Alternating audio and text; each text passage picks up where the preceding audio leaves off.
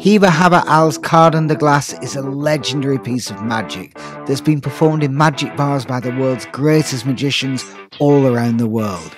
I've performed it for years, but I've always wanted to find a way that I can take it out of the bar, get it away from the tables and onto the streets.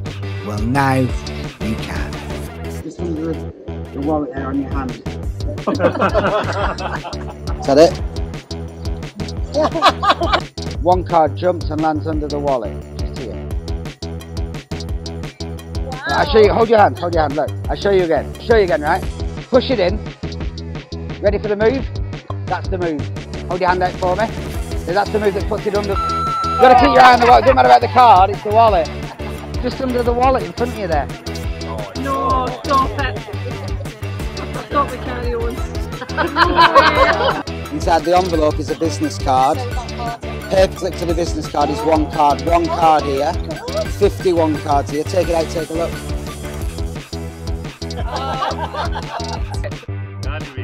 What? No, it's not underneath. Just inside the wallet is an envelope. Inside the envelope is a business card. Paperclip to the business card is one card. 51 here. Take it, take a look. Get your Just under the wallet there. Just under the wallet there. Not under the wallet, but inside the wallet. Take it, take a look. Did you feel him go? Did you feel him vanish? Did you feel it? All the cards have disappeared.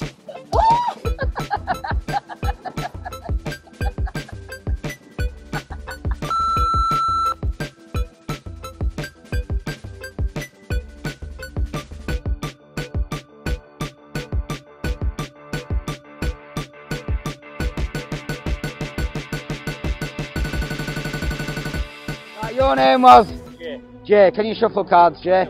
Shuffle them up, mix them up for me.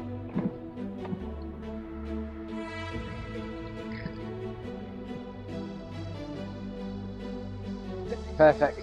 Jay, reach in and take one out. Take a look at it, write your name on it. This side. The face. Yeah.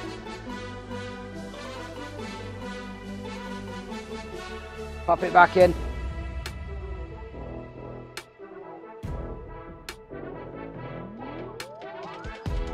Jay, got my wallet here. Hold your hand out for me, nice and flat. There, like that. Watch this. I'm going to make one card jump from the pack and land on your hand. Ready for the move? That's the move. You feel it? Hold your hand out for me. That's the, that makes it jump under the... I'll show you, you weren't, you weren't ready. I'll show you again, right? Push it in. Ready for the move? That's the move. Hold your hand out for me. That's the move that puts it under the wallet. You've got, you've oh, got to keep your eye on the wallet. It doesn't matter about the card, it's the wallet. Right. I'll show you one more time. You know what's going to happen, right? You know where it's going to happen. The only thing you don't know is how. Push it in. It's not happened yet because we haven't done the move. All right, ready for the move? That's the move. Hold on to the cards. Not under the wallet. Inside the wallet, there's an envelope.